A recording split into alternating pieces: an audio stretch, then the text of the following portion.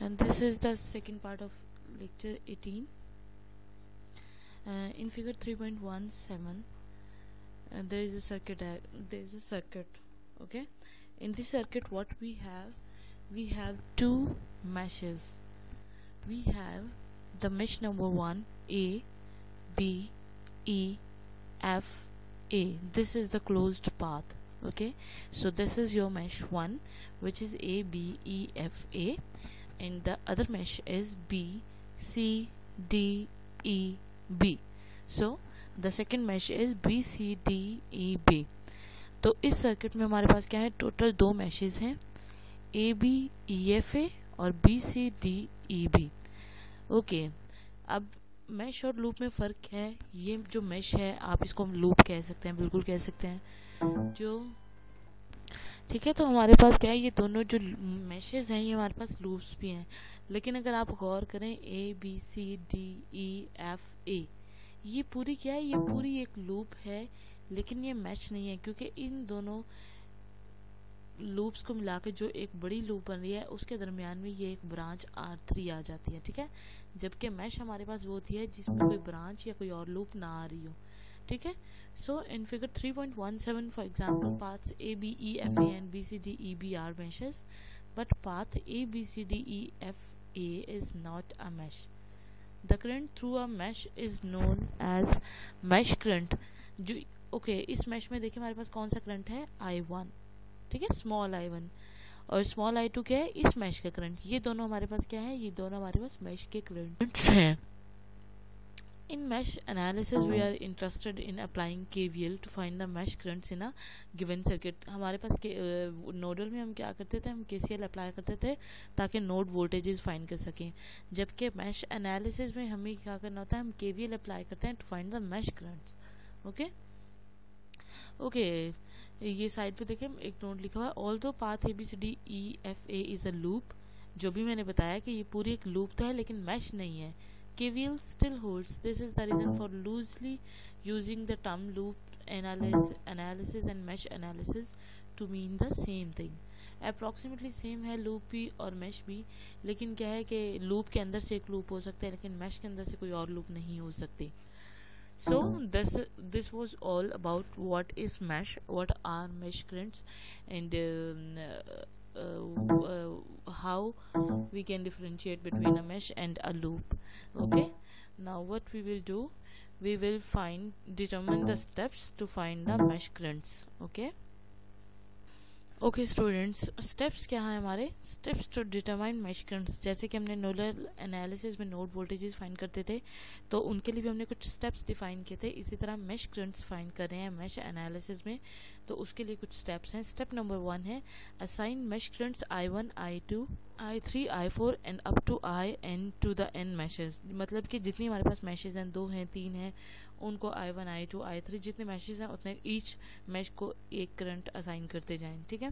फिर है apply KVL to each of the N meshes जितने मैशेज हैं, दो हैं तो दो पे, तीन है तो तीन पे, चार हैं तो चार पे। सब पे अलग अलग हमें क्या करना है? के वी एल अप्लाई करना है।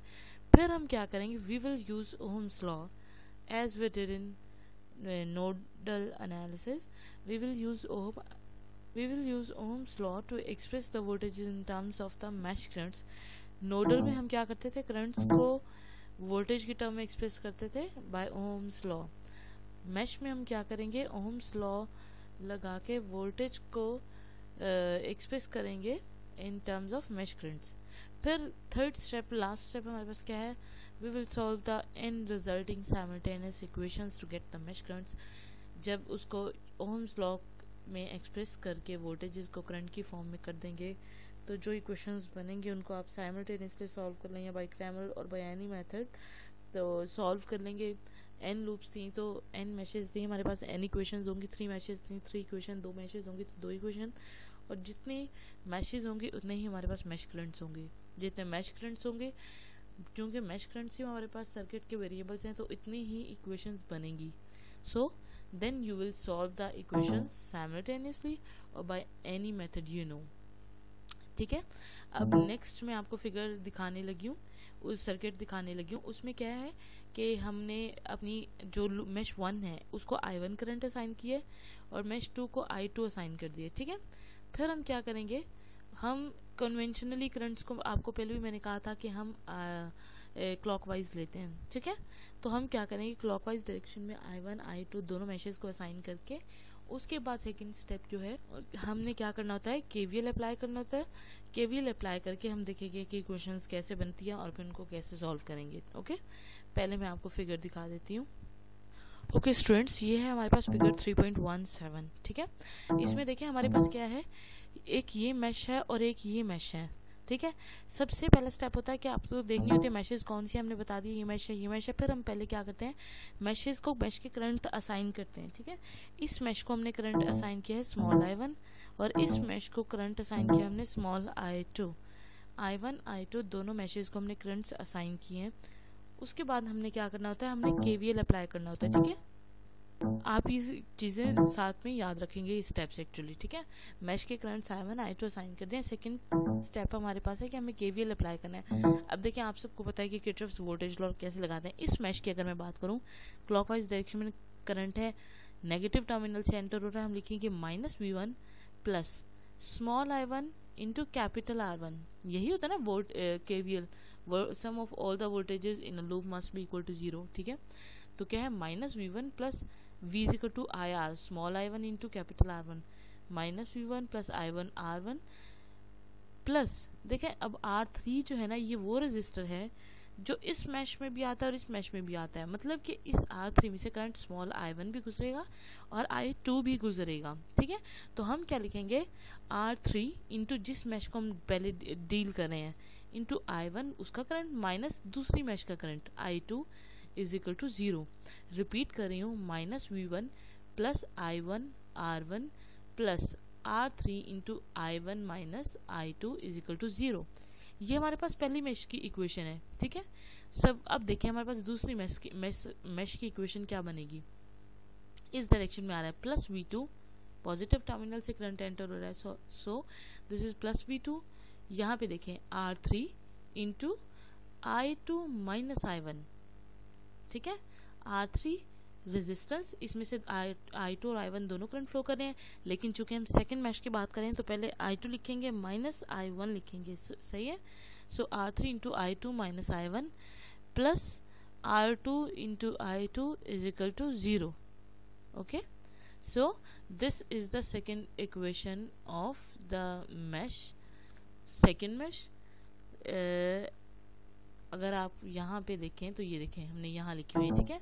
पहली इक्वेशन पहली मैश की लगी, पे जब हमने इक्वेशन पहली मैश पे केवीएल अप्लाई किया था तो इक्वेशन बनी थी minus V one plus I one R one plus R three into सिर्फ़ फ़र्क ये है कि आपको जहाँ पे जिस रजिस्टर जो रजिस्टर कॉमन होगा, दोनों मैशेज में शेयर होगा, वहाँ पे दोनों करंट फ्लो करेंगे तो हम दोनों करंट को लिखेंगे। लेकिन पहला वो करंट होगा, जिस मैश की बात आप कर रहे हैं, अगर मैश वन पे के वी लगाया तो आपने I one minus I two लिखना है, ठीक है? इसको ये सिंप्लीफाई किया तो ये इक्वेशन बन गई। फिर दूसरी इक्वेशन की मैच देखें R two I two plus V two plus R three into I two minus I one क्यों? क्योंकि यहाँ पे हम सेकंड मैच की बात करें तो उसका करंट पहले होगा।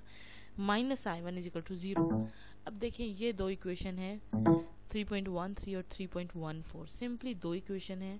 और आई वन आई टू दो ही वेरिएबल्स हैं। आर थ्री आपको पता है R three R one resistance constant होती है वैल्यू गिवन होगी वोल्टेज सोर्सेज भी गिवन होंगे।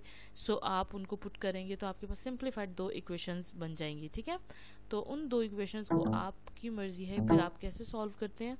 ये देखें ये क्या किया हमने? क्रैमर्स रूल डिफाइन करके फाइन किया है। सॉल्व किया है करंट्स की वैल्यू को, ठीक है? अगर आपको ऐसे नहीं करना तो आप सिंपली साइमल्टेनियसली सॉल्व कर लेंगे। स्टूडेंट तो ये था कि मैश एनालिसिस है क्या?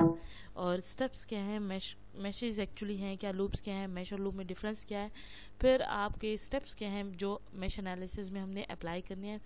और फिर हमने देखा कि सिंपली एक सर्किट जेनेरिक सर्किट लेके उस पर हमने देखा कि मैश एनालिसिस करेंगे कैसे और करंट्स की वैल्यू कैसे फाइंड करेंगे। नेक्स्ट लेक्चर में स्टूडेंट इंशाल्लाह लेक्चर 19 में हम क्या करेंगे? हम मैश एनालिसिस का कोई सर्किट सॉल्व करेंगे। ओके स्टूडेंट्स थैंक यू हाफिज़